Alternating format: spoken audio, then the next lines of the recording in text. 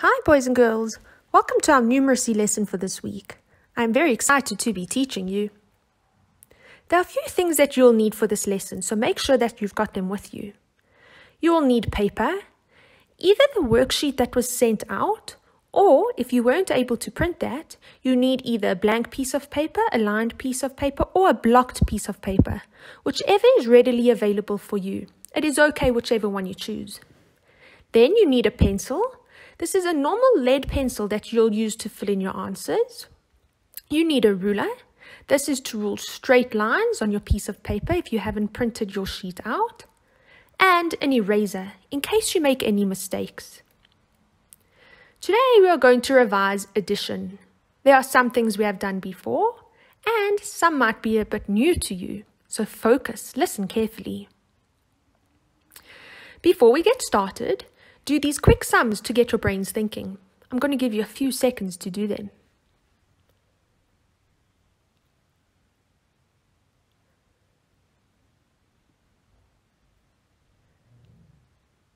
Okay, let's have a look. What was your answer to 1 plus 7? Did you get it correct? If so, well done. 5 plus 3? 6 plus 4? 5 plus 1? 7 plus 5, and 8 plus 9. I'm sure you all got those correct. If you didn't, not to worry, just keep practicing.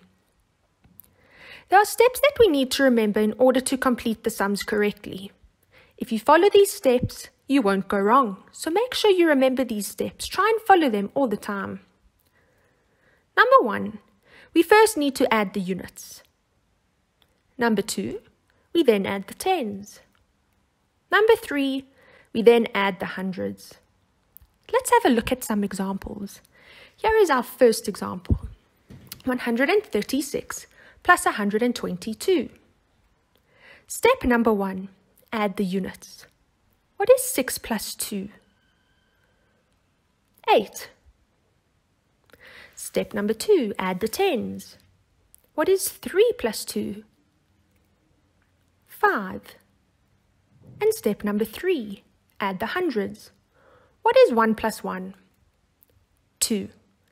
You need to fill those numbers in the correct columns. So what is our answer? 258. Good. Let's move on to our next example. 183 plus 214. Step number 1, add the units. What is 3 plus 4? 7. Step number 2, add the tens. What is 8 plus 1? 9. And step number 3, add the hundreds. What is 1 plus 2? 3. Good, so there is your answer, 397. But sometimes we have to carry. Be careful of these, you need to look out for them. If you do your maths correctly, you will see when you need to do these. Here is an example of that. 135 plus 127. Step number one, add the units. What is 5 plus 7? 12.